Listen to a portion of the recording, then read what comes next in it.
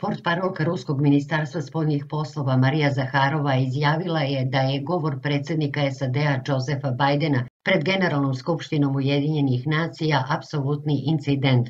Zaharova je u svom obraćanju optužila američkog lidera da je lažno citirao predsjednika Ruske federacije Vladimira Putina prenosi Tanjuk.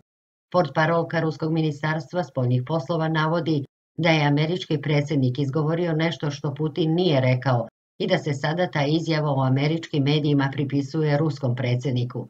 Što se tiče govora predsjednika SAD-a, smatram apsolutno nepristojnim način na koji je počeo. Počeo je navodno sa citiranjem predsjednika Rusije Vladimira Putina. Mi smo kao i uvek počeli da proveravamo Bajdenove reči, rekla je Zaharova. Kako prenosi Sputnik, prema njenim rečima Bajden je ruskom predsjedniku pripisao reči da Rusija preti svetu nuklearnim oružjem istakla je Zaharova.